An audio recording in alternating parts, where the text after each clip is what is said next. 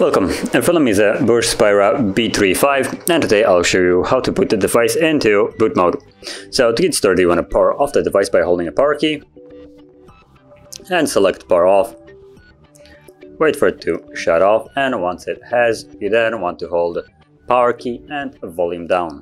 So once more power key, volume down, both of those keys at the same time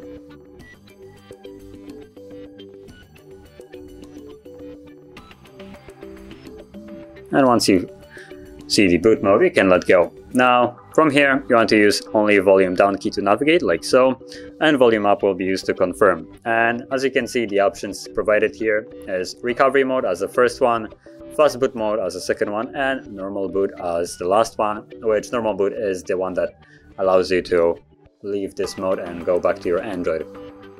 Recovery mode will take you to the recovery mode where you have access to uh, updates and uh, and also a reset of the device plus a couple additional options and fastboot just allows you to connect to PC. So as an example I'm just gonna leave this mode so select normal boot and then press volume up to leave.